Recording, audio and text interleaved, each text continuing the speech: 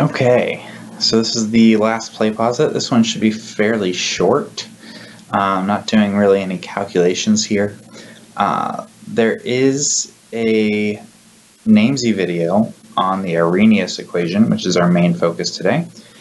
it's called Arrhenius Made Easy. Uh, just introducing the idea for you so that you have an idea of what to do for, for the lab. The lab involves activation energy and the Arrhenius equation. So we're going to help explain the difference between collisions that convert reactants and, uh, to products and those that do not in terms of energy distribution and molecular orientation. We're also going to use representations of our energy profile for an elementary reaction from the reactants to the transition state to the products to make qualitative predictions regarding the relative temperature dependence of the reaction rate. Okay.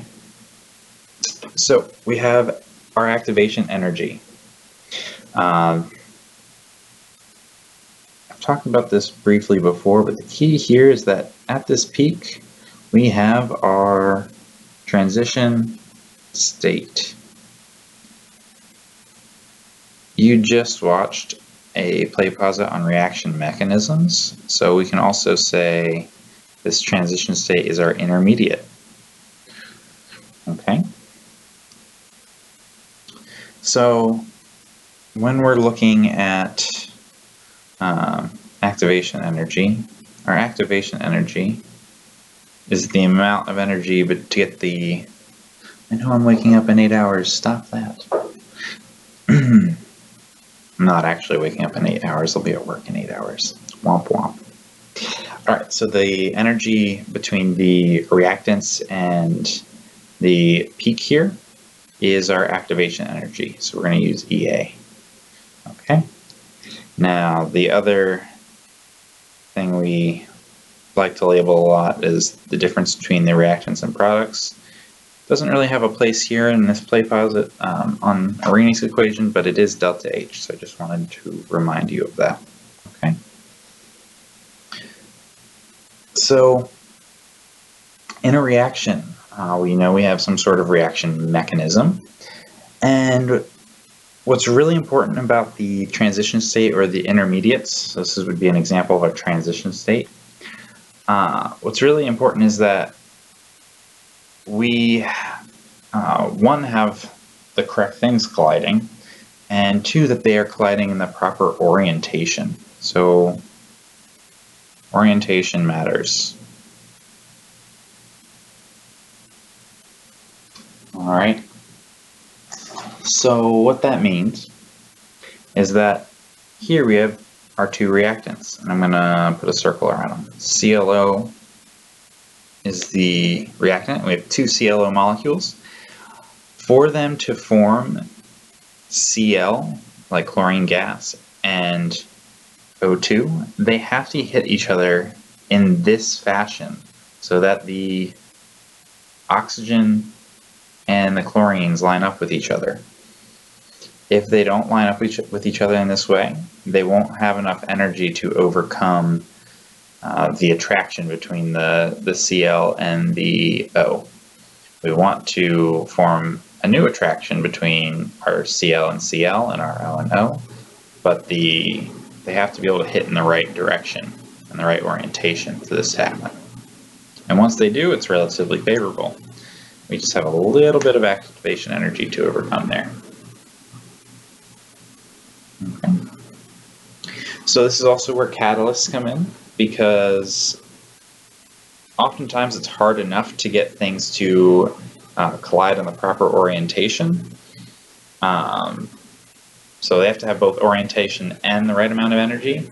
If we can at least assist one of those things, which would be the amount of activation energy needed, uh, then we'd be in pretty good shape. So the catalyst lowers our activation energy. Uh, there are two types of catalysts. There's a heterogeneous catalyst, and um, that exists in a different phase than the rest of the reactants. Uh, whereas a homogeneous uh, catalyst exists in the same phase as our reactant molecules. I wish that this example told us about phase because we we don't really have any anything to go off here in terms of space. But uh, the important thing is that there are two methods of ca uh, catalysis. We've got um, adsorption and absorption. So I'll say it again, adsorption, AD, adsorption versus absorption. Okay. So absorption uh, is when um, one substance uh, is penetrated by another. So like water in a sponge is the example that they like to use. The, the sponge very clearly can soak up the water. Um, that would be absorption, right? But adsorption uh, would be things like your, your platinum catalyst um, or, and when we're thinking electrochem, we use the platinum cathode so that the ions and the, uh, the gases have a surface that they could latch onto. Uh, so adsorption is more about uh, surface area. So surface for reaction to happen.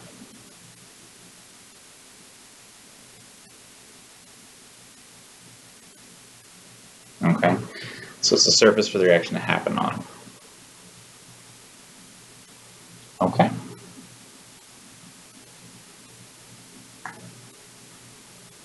So an example here, uh, enzyme catalysts often uh, operate under the, the absorption. Um, they, they fit in like that lock and key.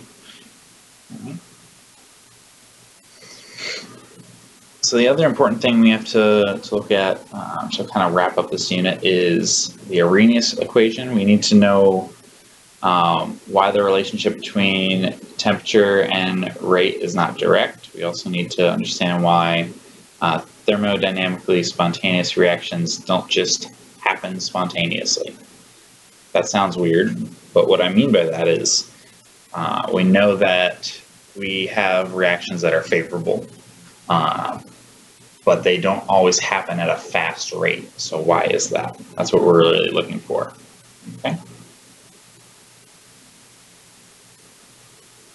So here we've got a graph of temperature versus the energy of activation. Uh, when we are at a lower temperature, we have a smaller uh, fraction of molecules, or larger fraction of molecules at a slower kinetic energy. Whereas at higher temperature, we've got a larger fraction of molecules uh, with a, a, higher kinetic energy. Uh, so what we can what we can say is if we're, we're looking at this graph, uh, we know that at a lower temperature, we've got this tiny little section here. It's a tiny little section, uh, small fraction of molecules that actually can reach um, the activa activation energy needed on their own.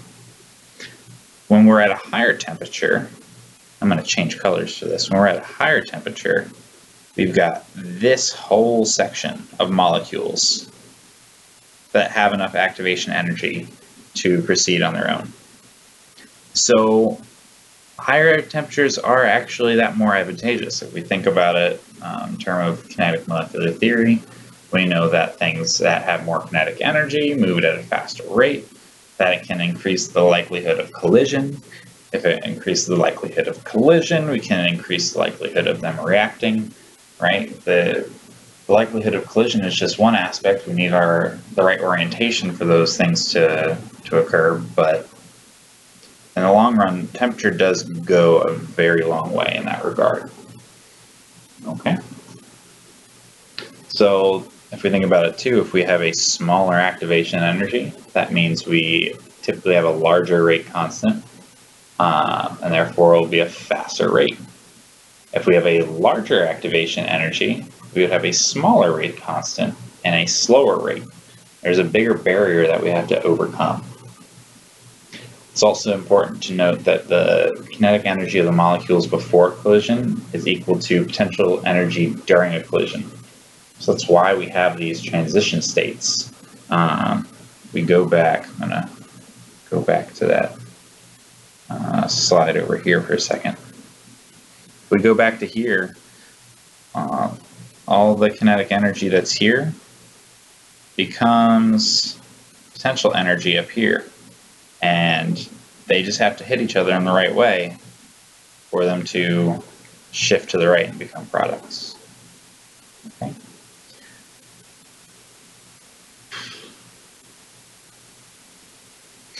So, the long-awaited Arrhenius equation. Uh, so the Arrhenius equation, uh, K is equal to uh, A times E raised to the negative activation energy divided by RT. Now, since we're looking at rates, one, this is our rate constant. This isn't an equilibrium thing, it's the rate constant. Uh, the R that we're using here is 8.314. So let me go back to my normal font. Hopefully you can, you can see that. R is equal to 8.314 and that is joules per mole Kelvin. Let me remind you of the units because that was tricky. Okay. Uh, the nice thing about this equation is that we can turn this into a two-point form. So I'm actually going to move this over for a second.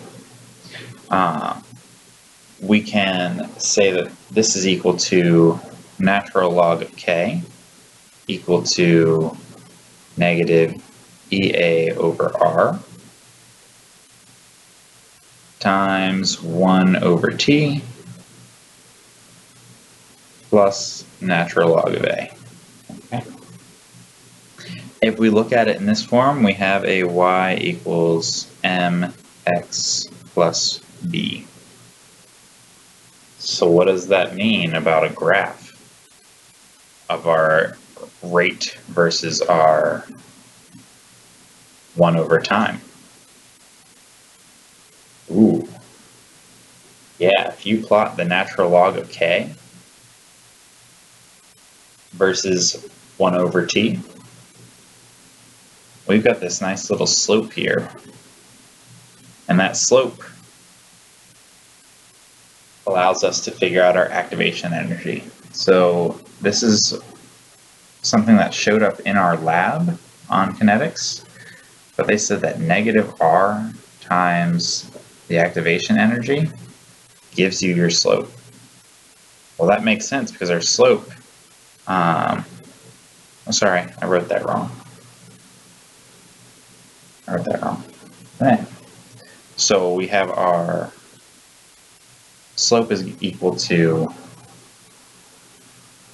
negative EA over R, we can then rearrange this and say that EA, our activation energy, is equal to the slope times negative R, okay? So this is what showed up in our lab. Uh, when we graph the natural log of our K values, we should be able to uh, multiply by R over here and get our activation energy for our reaction. Okay. Uh, the last little thing here, uh, this just shows what I was talking about before. We have before collision, things have to be in the proper orientation uh, for those things to stick together. Right? These have to hit each other this way to overcome the attraction uh, between these two. Whereas if they hit in the wrong direction, like down here, it's an ineffective collision, and they just bounce off each other and nothing happens. Okay. And so here's my plot. If I have my um, natural log of k against 1 over t, I'll get a nice linear uh, regression line. We can look at the slope of that and figure out our activation energy. And then natural log of A is just, um, that's a, the Arrhenius constant, um, which is different based on each reaction. Uh, the natural log of A is my, my y-intercept. Okay. So the reaction N2O5 uh, gives us 4NO2 plus O2, and they give us several temperatures. Uh, so they want us to uh, calculate the values of activation energy for this reaction. The easiest thing to do is put this thing in our calculator. So here's my calculator. And I'm going to go to edit. I had a bunch of things in my list from the last PlayPosits, so I need to go clear those out real quick. Should have just done clear all entries, I'm sorry. Okay, and so I go up in increments of 10 degrees from 20 to 60. So that's easy. 20, 30, 40, 50, 60. And I have 2.0 times 10 to the negative fifth. Oop. 2.0 e eh, e negative 5. Uh, what was it? 7.3 e negative 5. And then I've got 2.7 and 9.1 to the negative fourth. 2.7 e negative 4 and 9.1 e negative 4, right? That's what I said. Yep, and then my last one is 2.9 times 10 to the negative third. So 2.9 e negative 3. Cool. All right, so those are the normal graphs, but what I need is I need 1 divided by my temperature. And actually, something I forgot to mention is that temperature needs to be in Kelvin. And I'm glad I'm, I'm doing this now. So we have L1 plus 273. Hopefully that works out the way I want it to. Actually, let's just do it this way. L3 can be my L1 values.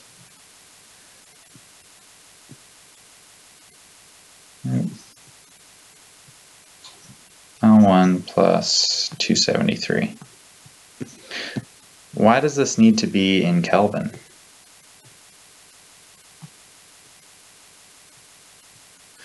Well, it needs to be in Kelvin because my R value is 8.314 joules per mole Kelvin. All right, so in L4 I put 1 over my temperature in Kelvin, and then I'm going to go put in L5, um, I want my natural log of my K, which is L2. Okay, and then I'm going to go to my stat plot, and in my plot, I want to graph L4, which is my 1 over t, and L5, which is my natural log of k. And I want to make sure that's turned on. And I can go back to stat calc number 4, put in L4, oop, comma, L5, comma, and then, uh, sorry, variables, because I want to put this in my y1. Press enter, and I get negative 12174.45. Uh, so I'm going to write that down. And that's a fairly good uh, correlation there. So one, negative 12174. So my slope is equal to negative 12174, so 0.45, okay? And I'm going to plot it just so I can see. It's going to look nice and fancy. Zoom 9. What? Oh, I had another plot on. I'm sorry. Let's try that. Take this one out. Should have cleared everything from before. Try this again. Zoom 9. Okay, that's beautiful. Look at that. Perfect. Okay. So remember that my slope is equal to my activation energy, negative activation energy over R. So if I multiply this by 8.314 joules per mole Kelvin, negative 3, 8.314, I'm sorry, I should get my activation energy. So EA is equal to uh, negative 12174 times 8.314. Okay. And I get negative, or sorry, that should have been a neg positive. Let's try that again. 8.314. All right, so I get 101.214. Let's put that in kilojoules. I get 101.2 kilojoules. It's my activation energy. 101.2 kilojoules uh, per mole as my activation energy. Not too bad. Okay. And I believe that is all. Have a great day.